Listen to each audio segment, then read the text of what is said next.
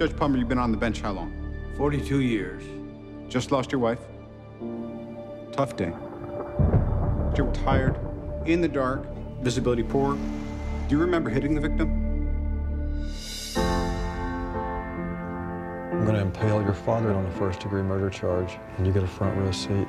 So tell me what happened. This was an accident, period. Any decent lawyer can argue this easily. And by decent, I mean honest. We both know you didn't intentionally hit him, right? But if we can gain sympathy from the jury, they'll never convict you. I sat on the bench in that courtroom for 42 years. The people in this community trust me. They trust the law. I'd rather die in prison than be remembered like that. I can't help you if you won't let me do my job.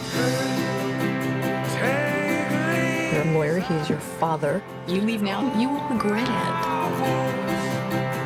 I don't need preparing. You've never sat on a witness stand. You've never been in that seat. He was tough. Remember fishing? He used to tell us all to be quiet. Yes, you're scaring the fish away. He is a liar who thinks he can operate under the color of the law just like his son. My father's a lot of unpleasant things, and murder is not one of them. I have memories of us. And I don't. Why? Was I tough on you? Yes. I did what I thought was right. You cannot lose this case. You're not my lawyer. You're not my lawyer. You're on the stand as a witness. Answer my question. You and I are finally done. But we're not done.